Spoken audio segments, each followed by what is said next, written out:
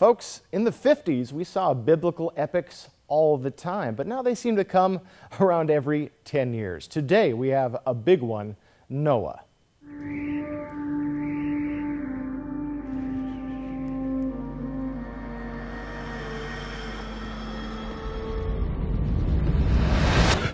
In this film, Russell Crowe plays Noah, who is ordered by the Creator to build an ark to save the animals as he floods the earth.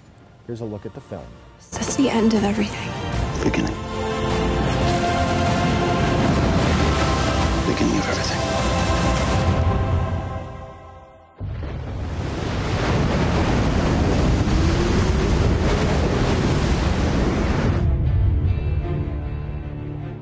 Folks, director Darren Aronofsky is known for big spectacles. He did Black Swan a couple years ago, and you get one here. This is an epic on every scale. Star Russell Crowe is perfect as Noah. I really can't think of another actor who could have carried off this very tough role. This is a good film. Now, they did take elements from the Bible and they made some of them up, and it's for theologians to discuss if it's accurate or not. But I can tell you, it is a very entertaining film.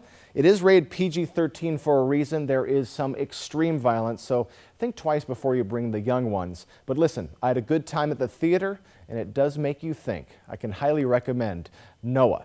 Hope you have a great weekend. I'm Jason Valentine with your view on film.